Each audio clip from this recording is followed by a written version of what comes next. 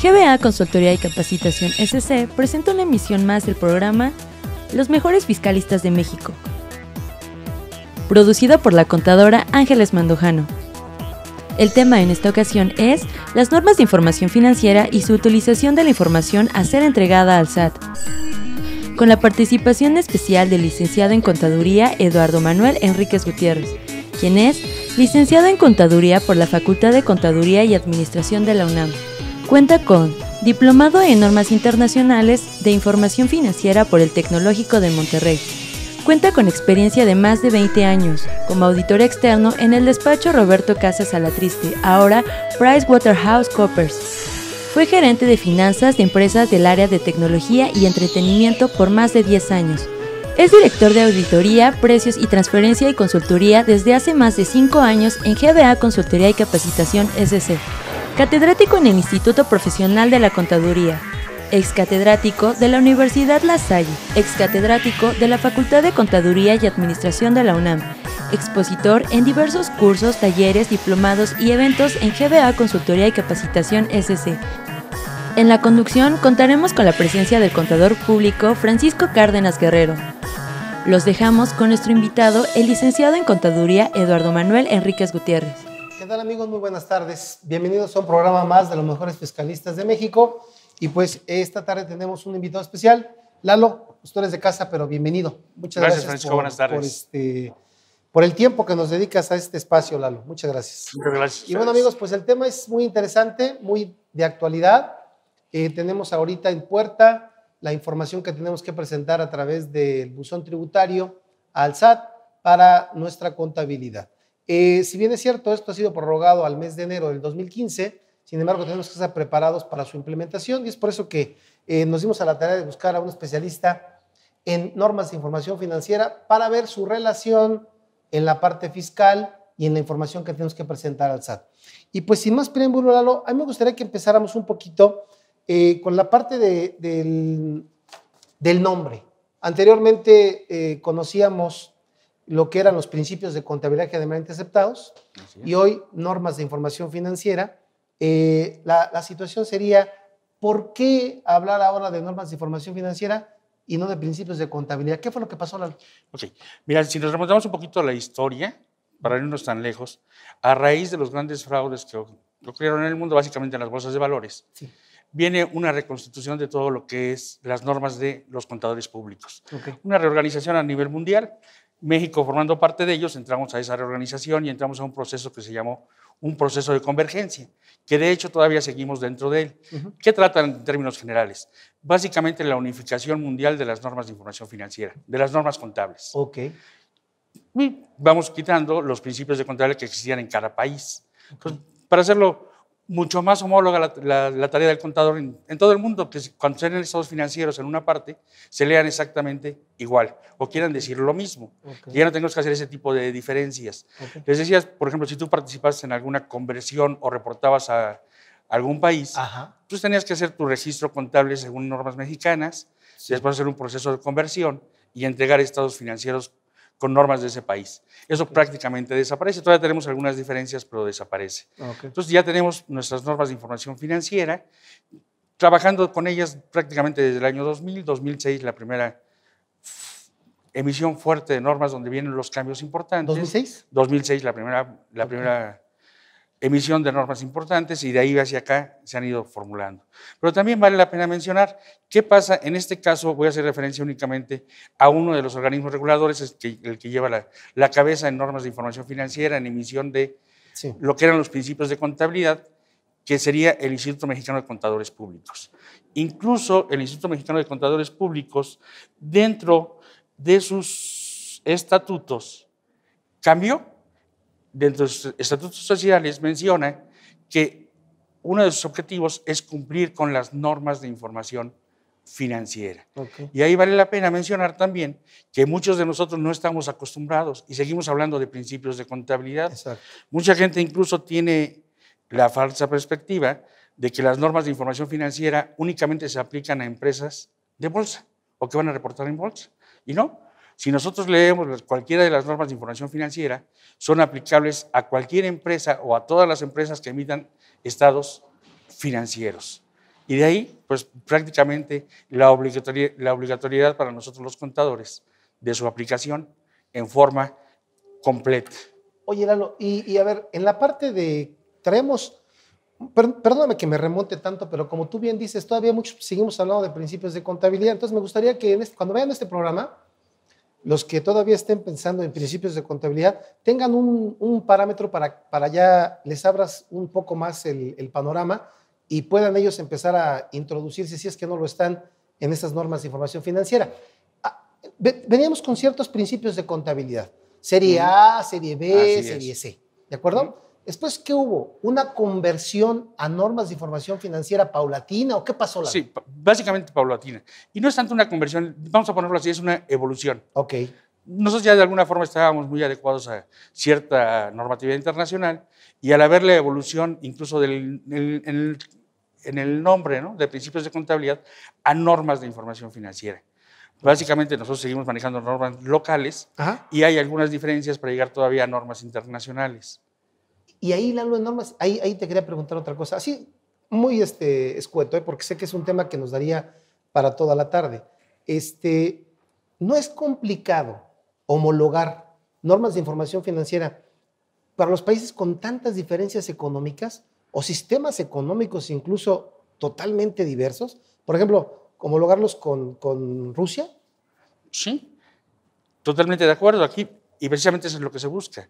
Que básicamente cuando estemos emitiendo los estados financieros y esos estados financieros estén llegando a los diferentes usuarios de esa información financiera, no tenga que estar pensando dónde, dónde se emitieron los estados financieros. Okay. ¿no? Precisamente ese es el chiste, que tengamos unas solas normas a nivel internacional, para que todos, nosotros como usuarios, estés donde estés, puedas leer los mismos, o puedas leer de la misma forma estados financieros emitidos en diferentes países. Ok, ok. Bueno, entonces ahorita si nosotros revisamos las normas de información financiera, lo que antes eran eh, parte de, eh, es la evolución de los principios de contabilidad, como tú bien lo mencionas, este, ¿qué tengo que ver? ¿Que todos, toda esa evolución fue de todos los principios que traíamos o todavía hay algunos que siguen manteniendo la misma estructura de antes, Lalo? De hecho, cuando se forma en México, se formó el CINIF, que es el comité de, que emite las normas de información financiera en México, se le pasan también todos los derechos de los principios de contabilidad. Ahorita, ¿cómo están formadas las normas de información financiera? Pues básicamente por todos los principios de contabilidad que ya evolucionaron y ya se llaman normas de información financiera. Y todavía tenemos por ahí unos remanentes de principios de contabilidad que siguen estando vigentes. Ah, por ejemplo, el C15 sigue siendo el principio de contabilidad que conocíamos desde hace muchos años. No ha evolucionado, no, ha hecho, no ha pasado por el proceso de convergencia, aunque ya se parece mucho a la normatividad internacional. Pero todo lo que se refiere a la serie A ya pasó por ese proceso de convergencia, prácticamente toda la serie B. Por ejemplo, este año tenemos la emisión del nuevo C10, C11, que se refieren básicamente a capital contable, donde ya viene también esa conversión a partir de este año. Ok, ok, muy bien. Entonces ya partimos de que ya tenemos que estar inmersos en las normas de información financiera, Lalo, y eh, vamos a ir viendo poco a poco eh, qué tienen que ver con la contabilidad para efectos fiscales, etcétera, etcétera. Pero no sé si te parezca, o a lo mejor me estoy adelantando mucho, tú que eres el experto, dime, a mí me gustaría que aquí nos hablaras un poquito de algo que en lo personal me llama mucho la atención y creo que los contadores les puede ayudar de mucho. Los postulados básicos, Lalo. Que sé que vamos a hablar de ellos más adelante, pero ¿podrías mencionar algo de los postulados básicos? Porque creo que es como que el cimiento, el cimiento.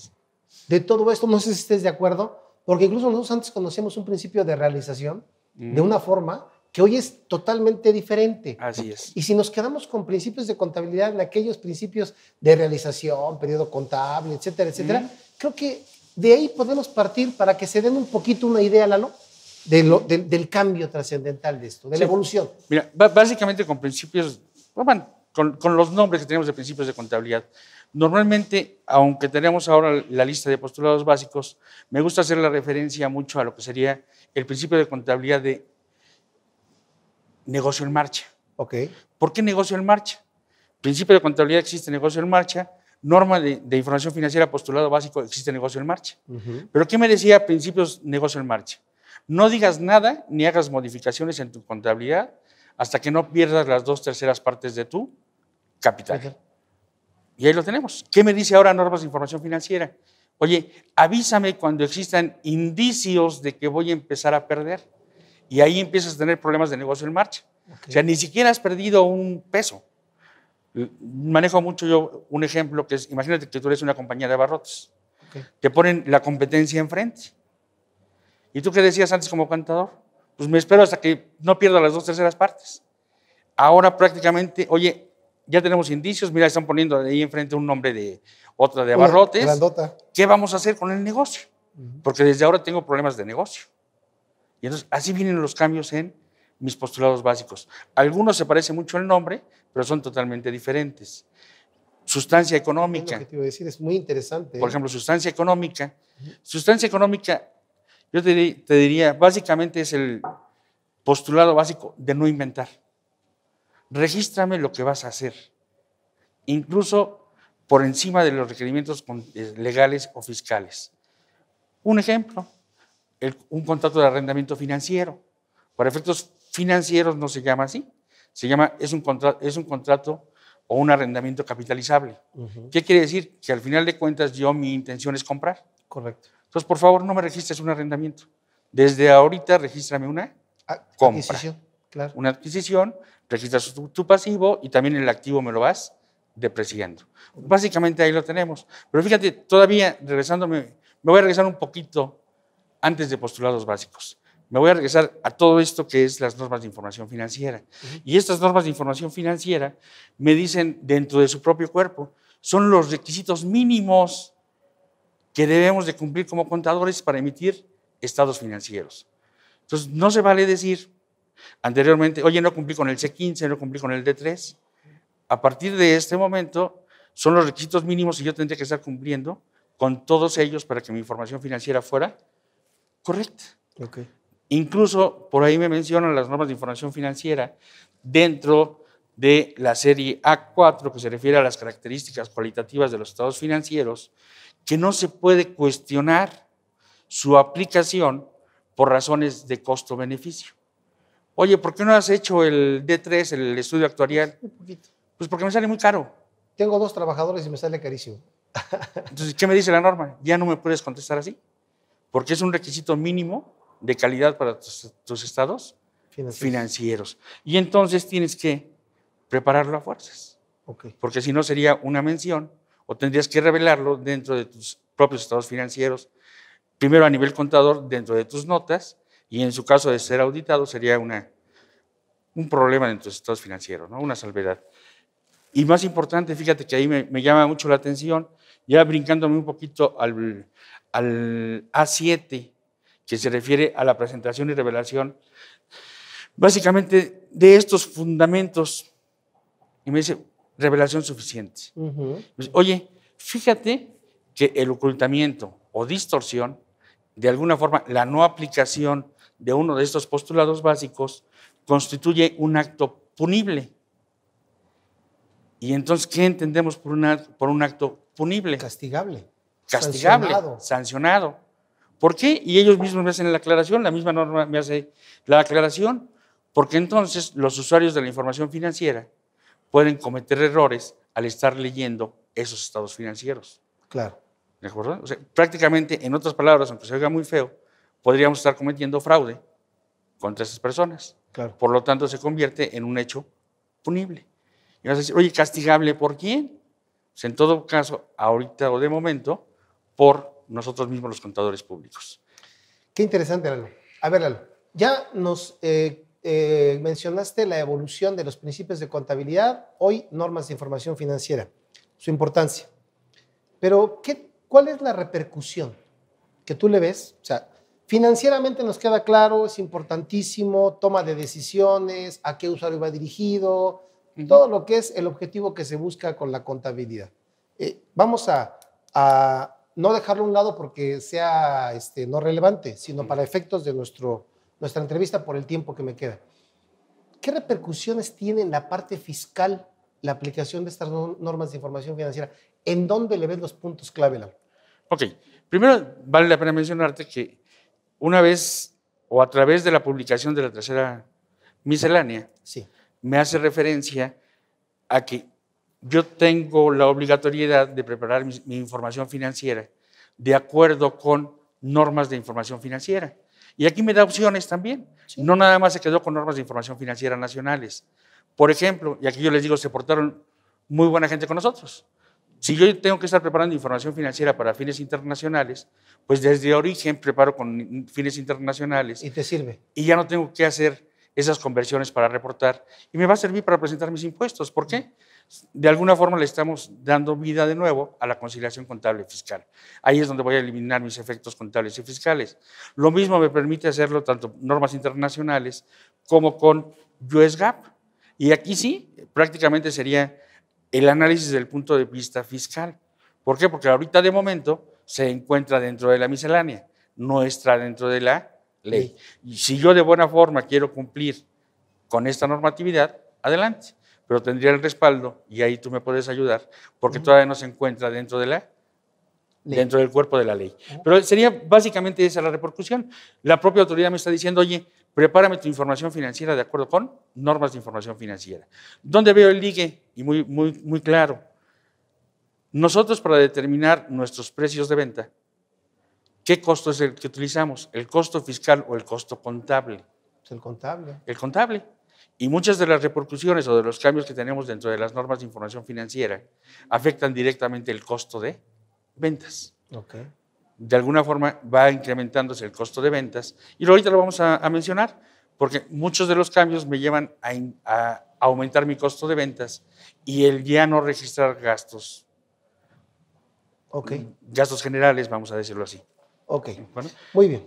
Entonces, eh, eh, en relación a este punto, también valdría la pena preguntarte, cuando la ley del impuesto a la renta establece requisitos de las deducciones, dice que uno de los requisitos de las deducciones es que éstas estén debidamente registradas en contabilidad. ¿En contabilidad? Y siempre tenemos ahí la, no, no discusión, pero la, la disyuntiva de poder decir, oye, ¿qué significa debidamente registrado en contabilidad? Así es. Creo que ahora con esto tú dices que responderíamos esa pregunta, ¿no? Prácticamente, si yo me remito al año anterior, donde le buscáramos en cualquier ley, me decía debidamente registrado en contabilidad, pero no me decía conforme a qué. Claro. O quién dicta las leyes o quién dicta las normas contables. No había absolutamente. A partir de ahora, cuando menos en la miscelánea, ya tenemos la guía que me dice de acuerdo con tus normas de información financiera. Cualquiera de las tres, ¿no? Nacionales, internacionales o US GAAP. O los Estados Unidos. Así es. Y ya lo tenemos ahí. Y obviamente ya de ahí podríamos estar brincando a cuáles son mis requisitos, ¿no? Sí, o sea, Primero que nada, ya nos explicaste esa importancia, pero yo quisiera que nos explicaras también ahí, eh, cuando la ley dice, tienes el Código Fiscal de la Federación, primero renta, me obliga a llevar contabilidad, pero me dice de acuerdo a código y su reglamento. Así es. Y código me dice qué requisitos debe reunir mi contabilidad. Así es. Que creo que ahí es en donde viene a establecer la miscelánea en mi opinión, de una forma muy este, poco, poco este, técnica, porque si tú recuerdas, lo que la resolución misionera viene a decir es que se entiende por balanza de comprobación, que nunca la definió. Así es. No te dice, lleva tu contabilidad de acuerdo a esto. No, te dice, determina tu balanza de comprobación de acuerdo a tu marco ordinario contable. ¿Sí? Así es. Que eso ya es otra cosa. Pero bueno. Vamos a aceptar sin conceder esa partecita. Así es. Ok, ya, ya está. Ahora, ¿cómo se integra entonces esa contabilidad para efectos fiscales? Ya nos remitimos entonces a nuestro artículo 28 del Código Fiscal y entre otros, vamos ya, ya, de todos conocidos, libro mayor, libro diario, etc. Pero vamos a quedarnos un poquito cuando me habla de sistemas contables. Y hasta ahorita, por lo que hemos estado mencionando incluso nosotros, nos, nos hemos quedado en el sistema contable que incluye la máquina esa serie de algoritmos, algoritmos, 20 mil cosas que hace la máquina. Ok, esa es parte de mi sistema contable. Pero la parte más importante del sistema contable, que incluso haciendo referencia a código de comercio que no ha cambiado, Así me decía, oye, es parte de tu sistema contable, tu sistema de control interno. Así es. Y ahí es donde prácticamente ah, nosotros estamos un poquito preocupados porque no hemos actualizado ni mis políticas y procedimientos de la compañía. Así es. Cómo, por qué y cuándo registro. Mis, por ejemplo, políticas, procedimientos, mis catálogos de cuentas, como bien decías, mi guía contabilizadora. Eso, ¿Qué cargo y qué abono? eso. Que muchas, eh, la mayoría de las empresas no tenemos eso, Lalo. No. La guía contabilizadora. ¿no? No, y fíjate, re- me- remitiéndome un poquito ahorita a políticas y procedimientos, yo pondría en todas las compañías mi política número uno contable. Y mi política número contable sería, voy a llevar contabilidad de acuerdo con normas de información financiera nacionales, internacionales. ¿Por qué? Porque también es lógico, si tú eres un auditor, lo primero que llegas a una compañía es, oye, ¿cómo haces tu contabilidad? Claro. Para que con base en lo que tú me digas, yo forme mi equipo de trabajo y poder revisarte. Y lo mismo va a pasar con la autoridad. Son, al final de cuentas, son también auditores, Usuarios ¿no? usuarios de Entonces, dime cómo haces tu contabilidad para que yo te mande un equipo Ujú, o sepa cómo estás registrando para poder registrar, para Así poder es. revisarte. Así es. Y entonces ahí, entonces ahora de nueva cuenta le estamos dando una vida a ese manual de políticas y procedimientos, Ok. donde lo tenemos guardado. Muchos ni siquiera lo tenemos lo con te iba a él, decir, uno lo tiene guardado, pero otros ni siquiera lo tenemos. ni siquiera lo tenemos. Oye, la guía conta- contabilizadora, Claro, ¿por qué cargas, cuándo cargas y de qué cargas las cuentas? claro, Toda esta parte es parte de mi sistema, ese sí es mi sistema contable, claro. no mi sistema de- el que trae la máquina, No el software. no el software exactamente. Ujú, ujú. sino toda esa serie de documentos donde me dice cómo hago, cómo hago mi contabilidad, para qué hago mi contabilidad. Y obviamente se, se junta también con todos mis papeles de trabajo. Ahí es donde voy a estar soportando mis papeles de trabajo. Ok, ¿De acuerdo? De ahí mismo, con esta parte de qué integra mi contabilidad, me habla de estados de cuenta. Y aquí, más que pregunta tuya hacia mí, te, voy a, te la voy a regresar. Te voy, te voy a pedir de favor que, que me, me aclares este punto de vista. Me están pidiendo que yo haga prácticamente conciliaciones de todos mis estados de cuenta. Sí. Yo podría, en determinado caso, mencionar que el buzón fiscal en donde están aterrizando todos mis CFDIs sería parte de estos estados de cuenta. Te voy a, te voy a decir por qué, hacia dónde va mi duda. Si yo ahorita abro este buzón fiscal y veo los CFDIs, pues efectivamente muchos corresponden a mis erogaciones, que yo tengo que jalar y subirlos a mis pólizas. Pero también existe una serie de CFDIs que no sé ni de dónde vienen. ¿Qué hago con esos CFDIs? ¿Quién, quién hizo el gasto por mi cuenta? ¿Quién no me ha avisado que está realizando erogaciones por mi cuenta? Así es. O a lo mejor tú mismo las estás omitiendo. o yo mismo lo estoy emitiendo. ¿Qué pasaba? Recordemos que también eh, existía, sobre todo con los dueños de, de negocios familiares, mucho la costumbre de que yo voy a comer y pido CFDI o antes factura, ¿no? Así es. Y iba al súper y pedía CFDI. ¿Y qué hacía con esos CFDI? Simplemente para efectos de solicitarlos, los dejaba y los guardaba. Pero ahora ya no nada más se quedan guardados, sino como se, se queda un correo, están llegando a la compañía. Eso en determinado momento se podría considerar como discrepancia fiscal. ¿Por qué? Porque yo estoy dejando de reconocer gastos o erogaciones. Sí, sí, sí puede haber una presunción. No, te digo, mira, mi opinión no tanto por el buzón, sino por en sí la naturaleza de, Ujú. que- de la que tú hablas. En el buzón se supone que íbamos a tener nada más notificaciones con la autoridad. Bueno, en tu En- sección. la página bajar la información. Pero tienes razón, porque a lo mejor igual dentro de esos FDI que estás este, omitiendo, tienes alguna compra de un gasto que no es deducible que beneficia a un socio accionista. Entonces ya tiene otra repercusión.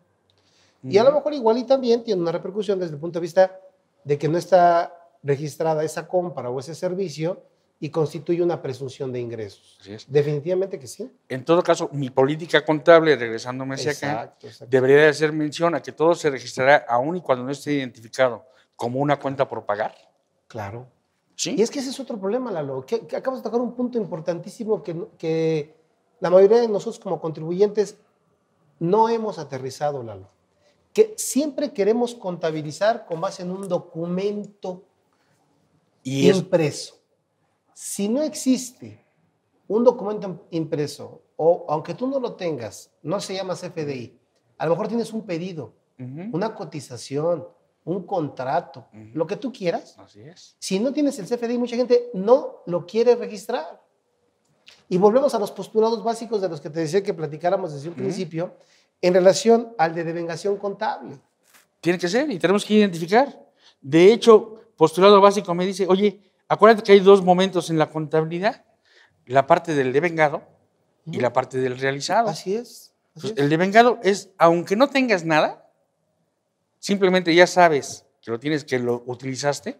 De hecho, las normas de información financiera hacen mención a algo. Y me dicen, oye, haz tu mejor estimación posible. Es mejor una tu mejor estimación posible que nada. Y también recordemos que muchas de estas, est- o muchos de este tipo de erogaciones o cuestiones que no estamos registrando, afectan directamente al costo de ventas. Así es. Y ahora la autoridad, ¿qué, qué me está pidiendo? Que identifique mi costo de ventas o el costo de los productos en el inventario en todo momento. Claro. Y entonces, si me falta reconocer una erogación, en automático estoy falseando la información del costo de ventas Claro. o determinando mal de alguna forma, ¿no? Claro. La información del costo de ventas. Entonces, sí, es súper importante de nueva cuenta el retomar esa parte, el devengado y el realizado. ¿Por qué estamos sufriendo con esta parte? Porque estuvimos ajustando en años anteriores la contabilidad básicamente al realizado para efectos de cumplir con la parte fiscal. Y se nos olvidaban todos los demás usuarios de la información financiera, toda la parte de, esta, de este de- devengación. Por ejemplo, yo te diría ahorita, oye, una erogación básica, la luz corre riesgo de ser no deducible si no la registro con, con base en Sí, lo devengado. claro, claro. Y muchos de nosotros tenemos la, la costumbre, Hasta que llegue el recibo. hasta que llegue el recibo, Sí, es, es como que es muy común. Si, Sí. si, si no tienes el comprobante, como que dices, ¿por qué lo tengo que Y registrar? aquí yo me he estado acordando mucho de mis maestros de costos. Por ejemplo, el señor Cristóbal del Río debe estar feliz ahorita, ¿no? Dicen, Se los dije que aguas con el costo. Sí, claro. Oye, el primer mes hago una producción gigante, pero no registro la luz. Vendo todo. El siguiente mes no hago nada. Me llega el recibo de la luz. ¿Contra qué lo enfrento? Porque tenemos otro postulado básico que es el de enfrentar los ingresos contra Con los gastos. Claro, Entonces, ¿contra qué lo enfrento? claro. Entonces, cuando, conforme vamos ligando, pues te- básicamente es la técnica contable que hemos manejado anteriormente, a lo mejor con nombres nuevos, con cuestiones nuevas, pero básicamente lo que es la idea contable sigue siendo exactamente la misma. ok. Entonces, más o menos con eso vamos. Entonces, te hablaba de esa, de esa parte de discrepancia fiscal. La otra, libros y eh, registro de libros, accionistas, simplemente checarlo. A mí me ha pasado mucho por cuestiones como estamos en México y acaba de pasar su día.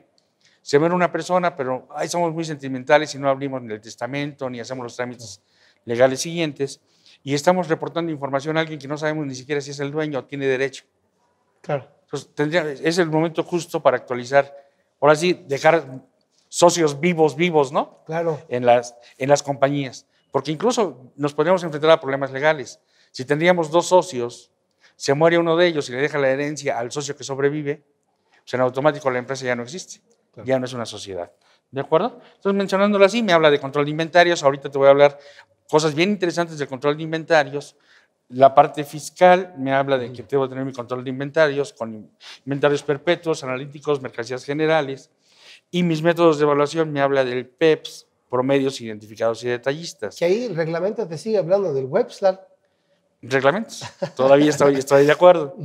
Pero vamos, yéndonos a la teoría general de buena gente todavía, Está bien, está bien. entendiendo esta parte, no tendríamos que estar aplicando nuestro WebS ya, Esa sería prácticamente. nuestra integración de contabilidad de acuerdo al Código Fiscal de la Federación. Así es.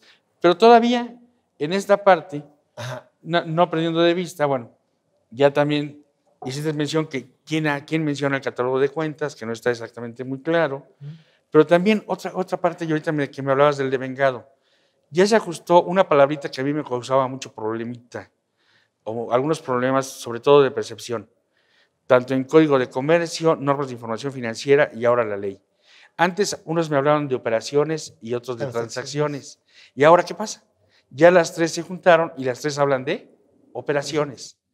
Entonces, también ligado con la parte de los devengados.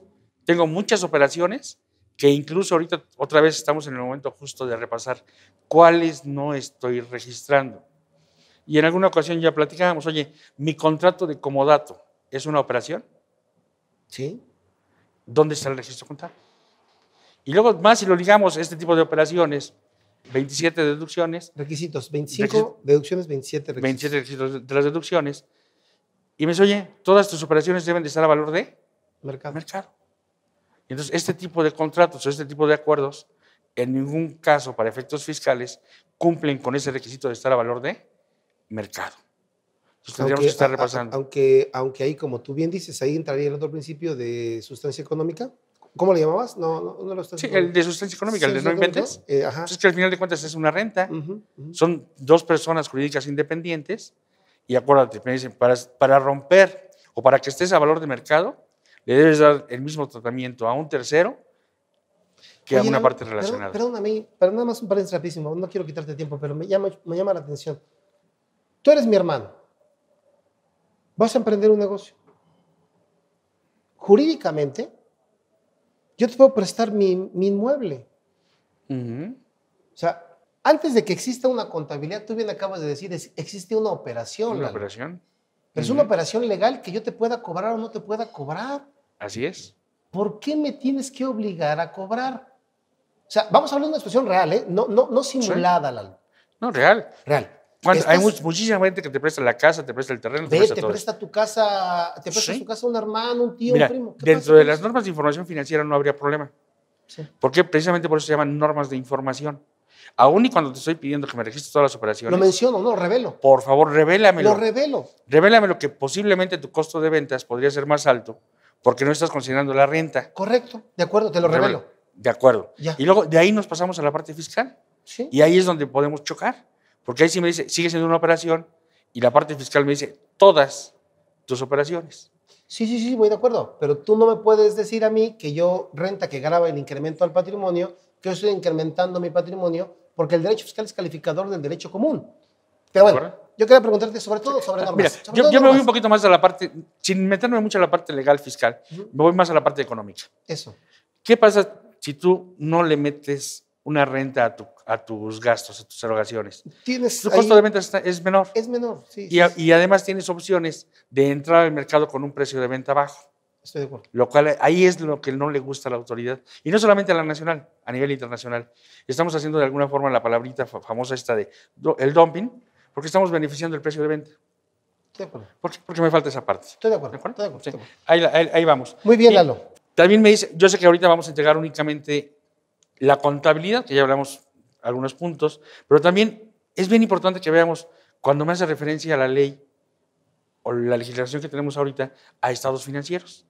¿Cuántos estados financieros tendría yo que preparar en este momento como contador público?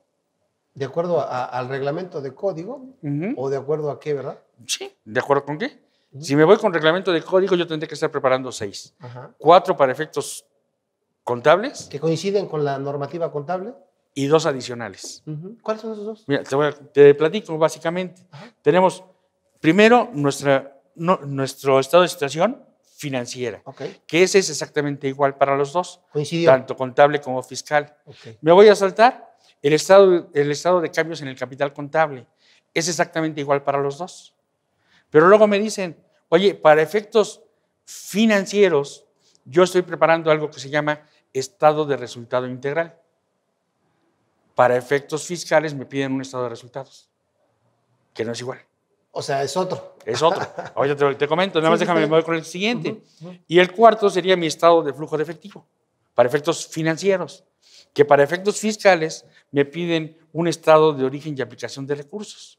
Entonces, si tú fueras la autoridad en este momento, yo te contestaría, oye, primero dime cómo se hace el estado de resultados y el estado de origen y aplicación de recursos para, para poderlos entregar, porque no existe una regla contable ni fiscal que me diga cómo se hace. Mucha gente lo estamos igualando, ¿no? Recordemos que desde el 2013, primero de enero de 2013, está vigente el estado de resultado integral, Claro. que no es igualito o no es igual que el estado de, Resultados. resu- de resultados. Así es. Y básicamente nada más repasando ese- esa parte del estado, ¿Cuál sería esa diferencia, Lalo? yo te diría, y ya juntándolo un poquito, y ahorita vamos a ver por qué, con la regla fiscal, me dice, bueno, voy a tener mis ingresos, no hay ningún problema, partimos de los ingresos, seguimos el costo de ventas, Ok. Pero fíjate, a partir de aquí, si estamos en el estado de resultados, yo tendría que ponerle una Utilidad raya, bruta. una raya de... Una raya ahí. de que ¿Se perdió? Sí, por eso digo, tienes que poner una raya. Una raya. otro. Y ves, utilidad bruta. ¿Se perdió? ¿Por qué se perdió? Ujú. Pues por bruta, ¿no? Ya no existe. O sea, no existe la utilidad bruta. Ahí desaparece esa, esa raya de suma. Inmediatamente después seguirían mis gastos de venta, mis gastos de administración y mi costo integral de financiamiento. para llegar a mi utilidad antes de impuestos. Agregamos los impuestos, tenemos básicamente mi utilidad neta y a esa, después de la utilidad neta, le vamos a agregar algo que se llaman otros resultados integrales. Los famosos ORIs. Los famosos ORIs, que ahí está el problemita de cómo determinarlos, ¿no? Básicamente, vamos, por, form- por forma de registro, cuentas por cobrar, cuentas por pagar, diferidos me ocasionan ORIs, básicamente. ¿Qué- Así, básicamente rápido, Lalo, ¿qué es eso de ORIs? De Es- or- Básicamente digo, es la diferencia, integrales. ¿Qué es la diferencia? la diferencia que existe entre tus cuentas, vamos a ponerle cuentas por pagar, entre el valor histórico y el valor presente. Porque ahorita muchos de ¿Como nosotros... el ajuste por inflación? No. No, el ajuste por inflación ya se considera realizado, ya lo ganaste o perdiste. No es inflación aquí. No, no es inflación.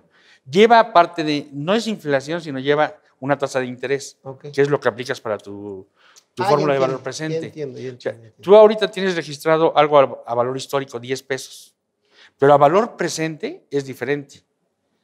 Si tú pagas ahorita esos 10 pesos, ¿no haces un descuento? Sí, claro. Claro. Entonces, esa diferencia entre el valor histórico y el valor presente básicamente sería un oro. Ah, ok, está bien, entre otras cosas. Entre otras cosas, ¿no? Para que lo, lo veamos ahí. Entonces, sí, básicamente ahí. Y si te das cuenta, me voy a anticipar un poquito. No existe gastos de operación. Entonces también utilidad de operación desapareció. No existe la utilidad de operación. Claro. Por ahí, en nivel de normatividad contable, tenemos la ONIF 1 que hace referencia a que no existe utilidad de operación, pero te doy permiso de que la utilices, con una condición de que esa ONIF aplica el estado de resultados, no aplica el estado de resultado integral. No ha salido la nueva que aplique a la normatividad vigente. Entonces, hasta ahorita no tendríamos permiso de utilizar utilidad de operación. Y, y, Bueno. Lalo, las normas te obligan a poner, por ejemplo, me hablabas de ingresos, me hablabas de costo de lo vendido, ya sin la línea, gastos de administración, gastos de venta. Sí, ¿Así los menciona como tal? sí, así lo menciona como tal. Ok. Sobre todo porque in- incluso me dice exactamente después del costo de ventas. Sí. Porque también hay que entender la nueva definición de un gasto. ¿Qué es un gasto? Ok, Un tipo de costo. claro. Entonces, al final de cuentas, un gasto es un costo. Sí, claro. Disminuye ok. tu utilidad. Si es un aumento de pasivo, una disminución de activo.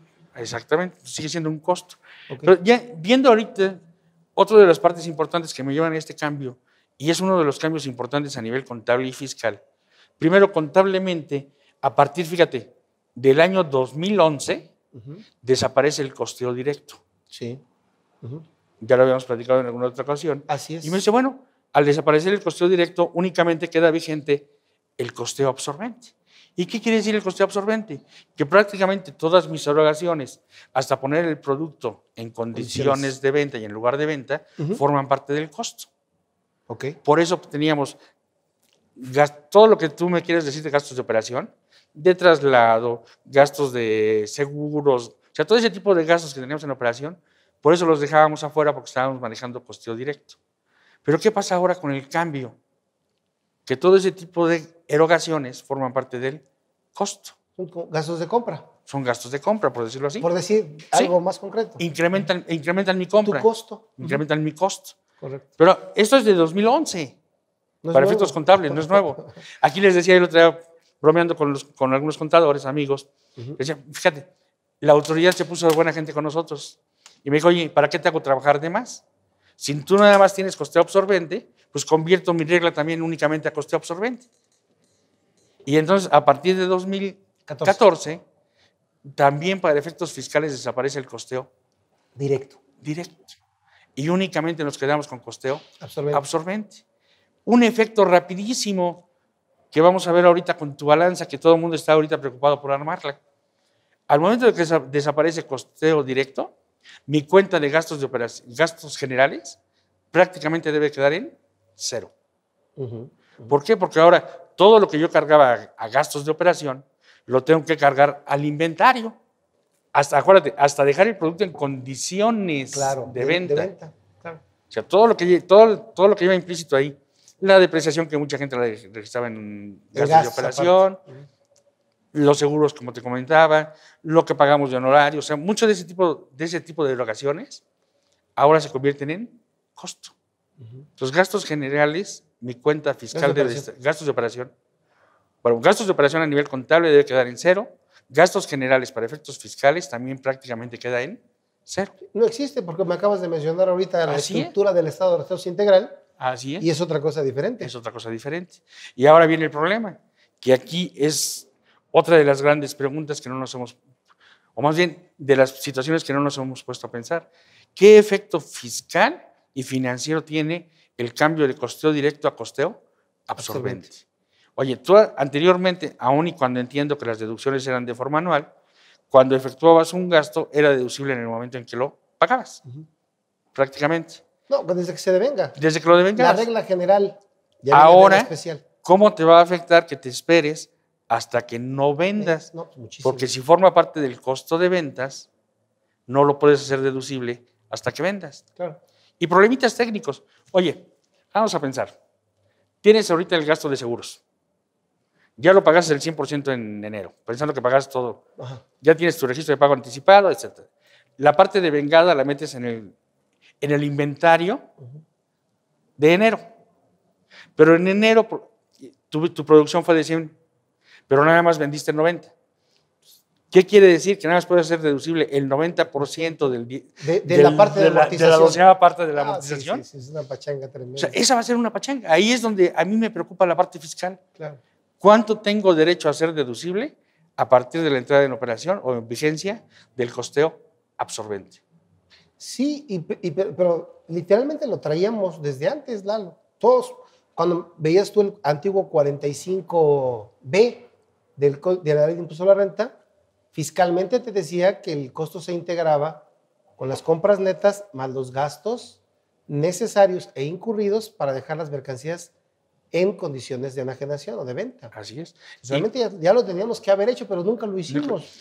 Incluso, fíjate, yo pensando como autoridad ahorita, si yo ocupo el renglón de gastos generales dentro de la balanza fiscal, en automático podría pensar que ese, ese importe que yo le pongo ahí es no deducible ¿De gastos generales o de operación? de gastos generales. Pudiera ser porque no está debidamente registrado en contabilidad. Y porque además eso Depende debería estar de formando parte del costo. Así es. Ok, porque ya hice mi separación primero. ¿Cuánto corresponde a gastos de venta, gastos de administración? Ya lo tengo perfectamente registrado. Si yo dejo algo en gastos generales, De operación. O- o no, en la balanza contable, Ah, en la balanza fiscal, Es perdón, que ya nos habías dicho que gastos generales ya no, no existe. ya no existe. No existe. Son gastos de venta, O gastos de gastos de administración administración o costo de o venta. costos de ventas. Que se maneja exactamente igual para efectos fiscales. Para efectos fiscales, ¿qué tienes? Gastos de administración, Pero tengo un problema en el fiscal que me pone gastos generales. precisamente. Eso Tú ponlo ahí. ceros, en mi opinión debería ir en Por ceros. eso, en ceros. Eh, Ahí es a lo que estoy haciendo referencia. Si tú en tu balanza fiscal pones cualquier importe dentro del renglón de gastos generales, ¿ese importe corre el riesgo de ser no deducible? Sí, Sí. porque debe estar formando parte del costo de ventas. O de los gastos de venta o de los O los gastos de administración. administración. Así es. Pues esa es una recomendación. Ahorita, vamos, habría que analizarla cada quien Pero en ahí, su fíjate, compañía. Lalo, pero qué interesante, estás poniendo algo bien interesante. Yo lo que pongo en tela de juicio es lo siguiente. ¿Cómo la autoridad se atreve a hablar de normas de información financiera en una, re- en una resolución miscelánea para efecto de que tú prepares la información que, que- que necesita Ujú. y la información que te pide no cumple con normas de información financiera? Y De te voy a acuerdo. poner tres ejemplos rapidísimos. El primero que lo acabas de comentar tú, en los Ujú. gastos generales. Ya no tengo. No, el, el típico, El segundo, hay una cuenta, la 71, que se llama gastos no deducibles. Tampoco, eh, nunca ha existido. contablemente nunca ha existido. Correcto. Y entonces, O ¿para es qué? parte del costo o es parte de los gastos. y entonces tú, ¿cuál es tu opinión? Olvídate de lo fiscal. ¿Cuál es tu opinión? ¿La llenas o no la llenas? No, no la lleno nunca. ¿Tendrías fundamento? Sí. Ok. Llega ¿Por la autoridad y viene y te dice, Lalo, me estás engañando. Debiste haber llenado ahí porque tienes gastos no deducibles. ¿Cuál sería tu contestación? Mi contestación sería, esas erogaciones forman parte del costo. Pero olvídate del costo. Aquí no, No, no, es que esas, forma parte del costo. esas erogaciones forman parte del costo y yo necesito determinar mi costo para determinar mi precio de venta. Yo te las estoy informando vía conciliación contable fiscal, porque para efectos contables no existe ninguna cuenta que se llame gastos no deducibles. O formen parte de un costo o de un gasto. Exacto. Esa sería mi respuesta. ¿No sería la respuesta decirle, mi marco contable ordinario no contempla ¿También? esas cuentas? Claro. Ahora, hay otra cosa importante. Ahí te va la tercera. Anticipa proveedores. Sí tenemos, bueno, Tenemos una- un marco contable que me hace referencia a él, pero con- fiscalmente tiene otros requisitos. Precisamente ahí, todo este tipo de preguntas, la respuesta es conciliación contable fiscal. Pero, Las pero- diferencias entre lo contable y lo fiscal, como siempre ha sido. pero independientemente de la conciliación, porque es para efectos de los resultados. Yo hablo para mi código agrupador. Viene el autor y me dice, oye, el anticipo a proveedores no me lo llenaste. Y sí pagaste un anticipo a proveedores, pero lo Sí. mandaste a pagos anticipados. Estás mal. ¿Qué le contestaría? Entonces, de acuerdo con mi marco contable, yo estoy correcto. Bueno, a eso quería llegar. Entonces, ¿estás de De acuerdo. acuerdo en que estamos viendo la utilidad de las normas de información financiera para nuestro provecho, contribuyentes, Claro. de poder defendernos porque el, el- el código agrupador de la autoridad es un código agrupador que no se basa en normas de información financiera. Claro. No sé si coincidas con esa parte, Lalo. Estoy totalmente de acuerdo contigo. Ok. Entonces, en cuanto a... Y, y ahí en el costo, ¿qué pasa con la prestación de servicios? Cuando prestamos servicios, Lalo. No, ahí, ahí tenemos problema. Primero, ese es uno de los grandes problemas que tenemos a nivel contable primero. Si tú, nosotros los contadores viejitos, tú eres muy joven, teníamos la costumbre de decir, es que fíjate que los prestadores de servicios no deben de calcular ni costo ni inventario.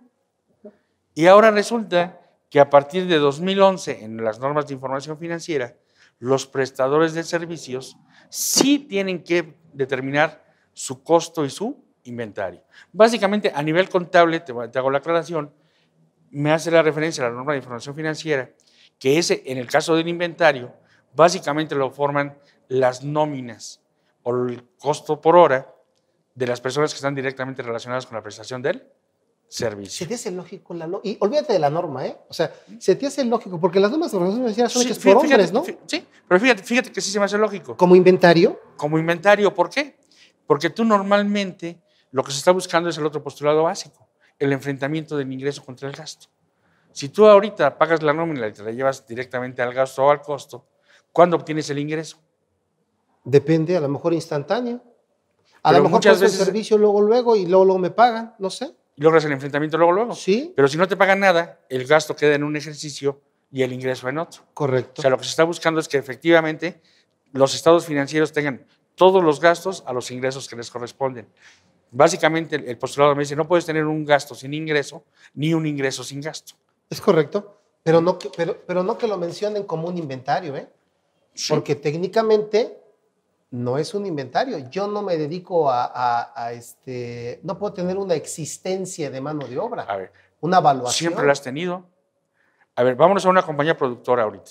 No, no, no, eso es otra cosa. Pues vamos a una compañía productora. Ah, Tú eres una compañía productora, tu inventario final, lo que tienes en el almacén, ¿de qué se forma? materia prima, mano de obra y cargos indirectos. ¿No tienes mano de obra dentro del inventario? Sí, pero, pero, espérame, pero por la especialidad, porque estoy utilizando esa mano de obra, ¿sí? Y forma parte del, costo del, del producto, del ver, producto. en tu despacho. A lo mejor hablamos costo de servicio, Lalo. Pues costo de servicio. Eso está bien. Si hablamos, si, si me dijeran en las normas, a lo mejor costo del servicio, estoy de acuerdo, la mano de obra es costo del servicio. Las normas sí, perdóname, ahí sí te hablan de costo de servicio. Yo no Estoy- coincidiría con costo de ventas. Costo de ventas, costo de servicios. Y creo que costo de servicio siempre ha habido. Sí. El problema es que teníamos, como teníamos la opción fiscal de llevártelo, aunque ya tenemos la otra reglita, pues siempre lo registrábamos como un gasto y vámonos, ¿no? Como un De acuerdo. costo directo. De acuerdo. Ahora, contablemente podrá ser así, como tú dices, pero fiscalmente, al no formar parte del costo de ventas, Ujú. será deducible totalmente. Aunque aquí me gustaría sí contar con tu punto de vista, ¿qué me dice ahora la ley del impuesto sobre la renta? Que considere, fíjate, el costo de ventas me lo maneja solamente en los siguientes puntos. Lalo. En tratándose de actividades comerciales, Comerciales. que no estamos es. ahí. En tratándose de actividades industriales, que no estamos ahí. Y el tercero, en prestación de servicios, pero solo, solo, fíjate, ¿eh? cuando con motivo de la prestación de servicios proporcionó bienes. Luego entonces, fíjate, ¿eh? Despacho de contadores, fiscalmente no determino costo de lo vendido. Contablemente, de acuerdo a lo que tú me dices, Sí. determino costo de servicio. Y a lo mejor una parte de ese costo de servicio lo deduzco hasta que voy a, de- a obtener los ingresos, pero fiscalmente es deducible todo. Todo. Aquí No hablo de costo de ventas, ¿eh? Sí, ¿no? costo de servicios. Así es. ¿Por qué? Te digo- y te digo por qué me causa problemas. Si nos regresamos al artículo que era el 39, que estamos hablando ahorita, Ajá. Ahí dentro del segundo párrafo, la fracción B, que es de la que me está causando a mí vueltas, ¿no? O problemitas, me dice, bueno, ¿qué forma parte del costo?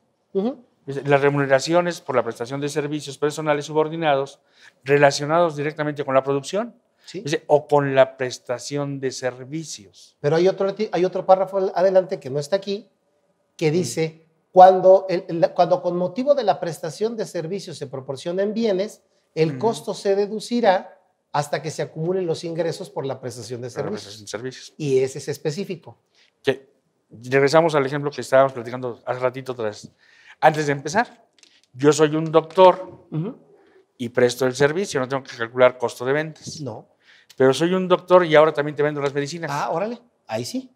Me calculas costo de ventas respecto del material de la medicina, porque estás proporcionando bienes con motivo de la prestación de servicios. Ujú. Debo llevar ese control. O sea, son, son de los detallitos que ahorita estamos en el primer año, hay que irlos depurando, hay que irlos teniendo en cuenta para ver cómo los vamos a aplicar. O sea, ¿cómo los voy a aplicar? Ahorita nos, nos brincamos una parte con el cambio de costeo directo a costeo absorbente. ¿Ok? Y te la voy a poner da- nada más desde la perspectiva contable. Sí. Contablemente, cuando viene el cambio, tengo que hacer un ajuste a mi inventario. Porque mi inventario final del año del cambio, en este caso 2011, terminó con costeo Directo. directo. Y yo para empezar la deducción contable en el siguiente año, tengo que empezar con costeo absorbente. Correcto. Entonces tengo que hacer un ajuste, sacar de resultados y llevarme al costo del inventario Correcto. Los que Es- venían con costeo directo. con costeo directo. Los que venían incluso con costeo directo hasta el 31 de diciembre de 2013. Y aquí, ahora te vuelvo a estar el entrevistado, este ajuste lo tendrían que hacer. Sí. Claro. De hecho, la resolución miscelánea lo previó, pero previó una forma de hacerlo hasta cierto tiempo. Digo, y después de ahí, ya si es acumulable, me lo acumulas todo y si es deducible, me lo deduces en partes, dependiendo. Que aquí en este caso más bien sería, estás mandando inventario, Claro, estás disminuyendo el costo claro. para De- este ejercicio. De hecho, si me remito un poquito, yo he tomado mucho como referencia la conciliación contable y fiscal que nos presentaron en el CIPRED de 2013. Y en el CIPRED de 2013 me hablaba de ingresos contables no fiscales. Y me decía, efecto del ajuste por el cambio en la evaluación del inventario, de costeo directo a, no- a costeo absorbente. Y en la parte de ingresos fiscales no contables, me decía 20% del, del ajuste. O sea, yo lo tomo como un indicio. ¿Cuándo le hubiera gustado a la autoridad que hubiéramos hecho el ajuste? Contable y fiscal, Claro, 31 de diciembre de 2013. correcto. ¿Para qué? Para que el primero de enero subamos con un inventario a costeo absorbente que no tenga ningún problema para ser deducible en el 2014. No, pero es muy interesante porque yo te he puesto que el 95% no se hizo, no lo hicieron, no lo hicimos. Y vamos a correr riesgos sobre el inventario final. Como el inventario final, claro que sí, claro que sí. Igual el que, el que platicas de, del costo de venta es muy interesante, ¿sí? Porque si finalmente sí era de esa manera, pero no tenemos todavía presente que hay que hacerlo, Lalo, todavía es peor, todavía es peor. Y ese es el problema de seguir hablando. Por eso empezábamos la plática remitiéndonos un poquito a principios de contabilidad. Porque hablábamos de principios de contabilidad y teníamos ahí ciertas normas, pero. Mi primer cambio tiene que ser de principios de contabilidad a normas de información financiera. Es más, una recomendación. Sí. Estamos a 3 de noviembre, todavía les queda el remanente de la ofrenda del día de ayer, ¿verdad? Pongan ahí su libro de principios de contabilidad. Nos da tiempo ponerlo hoy, ¿no? Y ahora sí, muerto el rey, viva el rey, empezamos con normas de información financiera. Claro. Así tiene que estar mi contabilidad. Correcto. Y no es necesario que esté yo en bolsa ni nada, simplemente es aplicable a todas las compañías que preparen estados financieros. Muy bien, Lalo. Lalo, pues te dije que el tiempo se me estaba yendo como agua, pero creo que am, hemos avanzado mucho. Pero hay otra cosa que quisieras comentar, Lalo, antes de cerrar el programa. Mira, básicamente ya vimos ahorita cambios importantes que tenemos afectaciones dentro de lo fiscal, que es inventarios, pagos anticipados, propiedades, planta y equipo, aun y cuando la deducción contable es diferente que la deducción fiscal, Claro. la depreciación se calcula de forma diferente, es bien importante que empecemos a calcular la depreciación con la nueva forma de hacerlo. ¿sí? Ya no, no existe, por ejemplo, es incorrecto tener un activo a un peso Correcto, correcto. Ya sí. Por eso tenemos que estar hasta, hasta nos causa problemas prácticos. Sí. Y ya liga, porque ahora el valor que tiene que estar Es el registrado valor de realización. es el valor de realización y es exactamente igual lo contable que lo fiscal. Correcto. ¿Cómo pasa al estado de resultados la deducción contable que la fiscal? Es diferente, pero al final de cuentas van a llegar exactamente a lo Mismo. mismo, van a pasar por lo mismo. Las nuevas reglas de capital contable, te digo, a partir de este año, ya no solamente, por ejemplo, en el caso de los, de los anticipos a- para futuros aumentos de capital es entregar el anticipo. Tiene que estar definido que no, es que no se tiene que regresar, Ok. que se tiene que capitalizar, el número de acciones y qué acciones vas a, vas a capitalizar, vas a, vas a aumentar. O sea, nuevos requisitos. Ok. Uno de que hemos hablado muchísimo, partes relacionadas. Acuérdense, tenemos supercu- supercubiertas a las compañías en la parte fiscal, pero su principal parte relacionada, que son las personas físicas, las tenemos descubiertas. Por eso, hace rato te mencionaba yo, operaciones. Muchas de las operaciones que no tenemos registradas son con partes relacionadas, Claro. socios de las compañías. Entonces, hay que cuidarla. Y tomando ya en cuenta general, la reglita que te decía, no hay pretexto para no aplicar las normas de información financiera. Claro. Son requisitos mínimos que deben de cumplir. Entonces, tengo que cumplir con todas ellas, aunque no me las sepa. Sí, porque recordemos, y aquí me val- valdría la pena nada más, pensando que todo estuviera perfectamente armado, si las normas de información financiera me dicen que el no cumplimiento es un hecho punible, hace rato mencionábamos, ¿quién me va a castigar? Los propios contadores. Pero al momento de que me dice la ley también que debo de cumplir con normas de información financiera, el no cumplirlas también es hecho punible, puede ser castigado por la autoridad. Si estuviera perfectamente bien armado el marco, yo te diría que sí. Ujú. Si a quién me va a castigar, también la autoridad por no llevar tu contabilidad como la debes de llevar. Claro. Me parece bien, Lalo. Eh, nada más que habría que decirles también a ellos que, que las, que, atien- que las atiendan, porque Claro. en, en la parte que nos están mandando, acabas de mencionar dos cosas. Acabas de hablarme de estados financieros básicos que están totalmente diferentes. Yo espero que hagan la corrección. fiscal. Me estás hablando de un código agrupador que no tiene nada que ver con la parte, fis- con la parte de normas de información financiera. Entonces, le- les estás pidiendo algo que primero tienen que preparar, ¿no? Claro. Lo que te decía, estamos en un proceso, e- este año todavía tenemos unos meses para que hagan algunas correcciones. Ok. Yo, por ejemplo, esta de estados financieros que mencionábamos, espero que saquen la corrección rápido, ¿no? Si estamos hablando de cuatro estados financieros básicos, pues son los cuatro para todo el mundo. Claro. Entonces, Estamos en el proceso de, aprende- ahora sí que de aprendizaje y depuración de todo este tipo de información. Lalo, pues eh, te agradezco mucho que hayas aceptado la invitación a, a la entrevista. Muchas gracias. Muy amena, como siempre. Y te agradezco mucho que nos hayas ilustrado. Si me permites, te voy a, a entregar un reconocimiento de parte de GBA. Me permito leerlo. Eh, dice GBA Consultoría y Capacitación SC. Se enorgullece de entregar el distinguido reconocimiento por su participación en el programa Los Mejores Fiscalistas de México al licenciado en Contaduría Eduardo Manuel Enríquez Gutiérrez por su destacada trayectoria profesional, invaluable ejemplo de capacidad, sabiduría y competencia aplicada al ejercicio de la contaduría pública en México. Firman al CALCE, contador público Ángeles Mandujando López y contador público certificado Andrés Ávila García, México DF, noviembre de 2014. Pues Lalo, muchísimas gracias por... muchísimas por- gracias. por- ahora sí que por estar aquí conmigo y gracias por la entrevista, Lalo. Muchas gracias, gracias a ti, a Andrés y a Ángeles, muy amables, quedamos a sus órdenes. Bueno, amigos, pues gracias por apoyarnos con su presencia en este programa y hasta la próxima más de un programa de los mejores fiscalistas de México. Muy buenas tardes. Es así como presentamos una emisión más de los mejores fiscalistas de México. Esperamos contar con su presencia la próxima semana.